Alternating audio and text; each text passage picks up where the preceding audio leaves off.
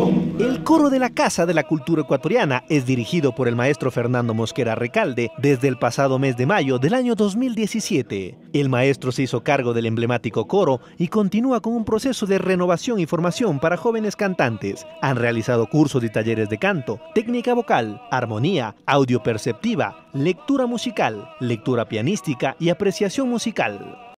Para nosotros es un honor tener la casa abierta para los jóvenes.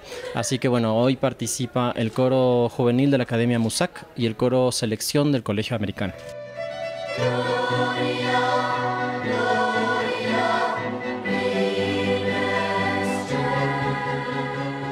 Hemos tenido una gran acogida de todos los coros que se han invitado, así es que bueno, y estamos siempre pendientes de que otras, perdón, hay otras personas que nos están llamando para querer participar en, eh, este ciclo, así que bueno, es, es un éxito la verdad.